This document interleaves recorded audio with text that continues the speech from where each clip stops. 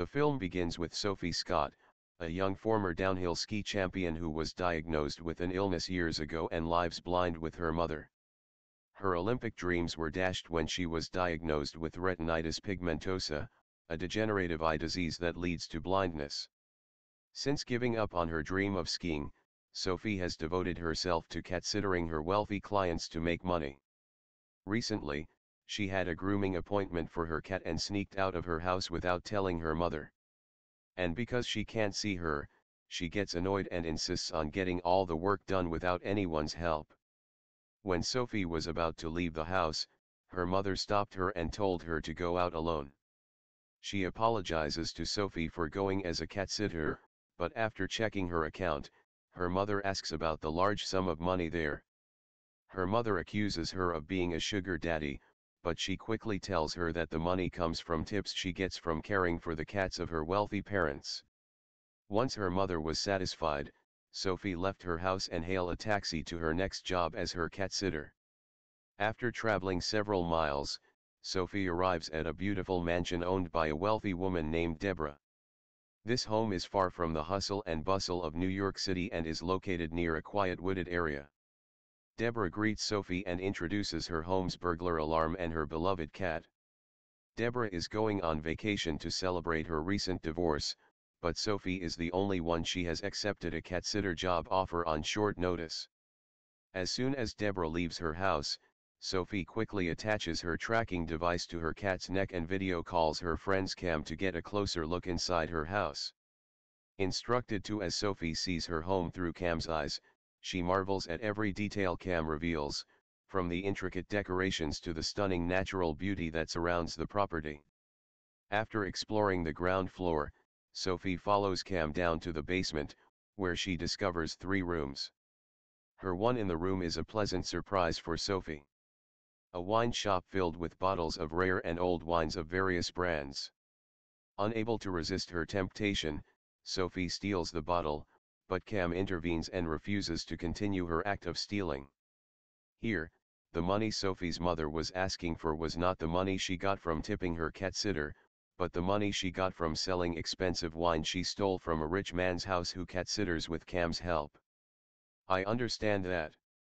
Sophie goes to her guest room to read the message. She's heard her mother encourage her to use her See For Me app, which connects educators of the blind and sighted. When she left the house to smoke, Deborah called and asked her to turn on the security system.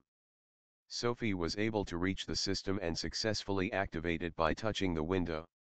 Soon after, Sophie realizes that when she goes out to smoke, she accidentally locks herself in and there is no one to help her, so she desperately asks her friend Cam to help her. I asked for to her dismay, Cam didn't respond, leaving Sophie no choice but to download her See For Me app her mother recommended. After her app was installed, Sophie contacted her first available teacher and she was advised to ask her neighbors for help. Frustrated by the distance from her closest neighbor, Sophie hangs up. So she decided to contact her new instructor, Kelly, a tactical player from Florida. Realizing there is no easy way to unlock the front door, Kelly suggests finding another entrance downstairs. Sophie was determined to get out on her own, but Kelly ushered Sophie to another sliding door, through which she was able to enter. At Kelly's direction, Sophie manages to open the door and re-enter her house, but on the way, her burglar alarm goes off. She rushed to turn off the alarm and managed to turn it off in time. Excited by the success of her See For Me app and Kelly's mentorship, Sophie decides to save her contact with Kelly as a top priority. As she went to bed later that night, she braced herself for Paralympic skiing, where she remembered her dream of becoming an Olympic skier. Her boyfriend Cam encourages her to consider the Paralympics together as her spectators, but Sophie is still uneasy and haunted by the failure of her hopes that have cut her dreams from living her life. There is when she finally goes to sleep, we learn that someone has an eye on her mansion. The intruder sneaks into the mansion unnoticed and disables the security system to allow an accomplice to enter. The shore looked clean, so the robbers got out heavy drills and flashlights and headed for Deborah's prized possessions. When they approach an expensive painting and put it away, they reveal a transparent wall that actually hides a secret locker. But before she can get her treasure, Sophie wakes up from her slumber and her excitement causes her to wake up. She leaves her bedroom to investigate and goes to find the cat. When the girl pulls out the tracking device, tapping a button on the app makes a small beep. Meanwhile, the robbers were trying to keep as quiet as possible, but suddenly they heard a small beep and panic broke out. Sophie followed, but she didn't think the robber was doing the same. While searching for her, Sophie and the robber nearly confront each other, but Sophie keeps the robber away and she is lucky to be saved. Meanwhile, another robber hung a device on the wall that opened to reveal a secret $7 million locker. The sound of a door opening catches Sophie's attention and makes her uneasy.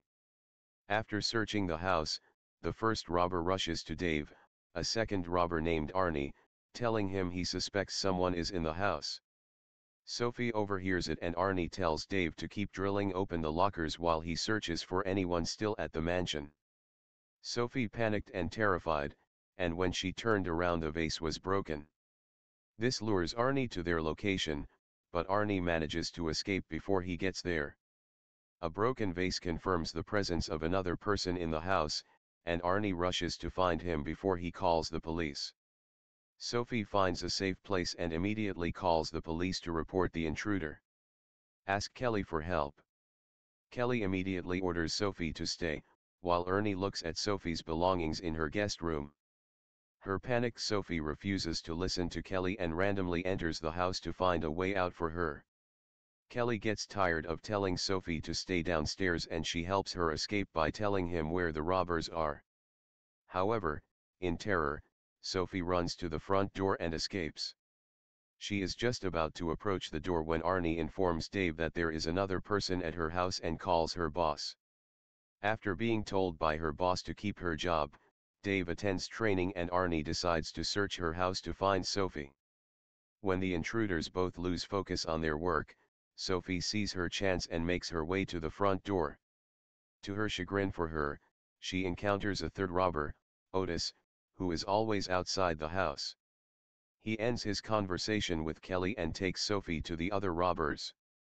A search of Arnie's cell phone reveals that she has already called the police. Her intruders ask her boss how to deal with Sophie, but when she says Sophie is her blind girl, her boss dismisses her as no problem and kills her.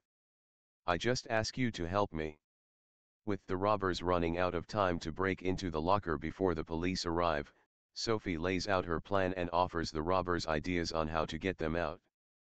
But in return, they must give her a share of the $7 million hidden in a wall safe.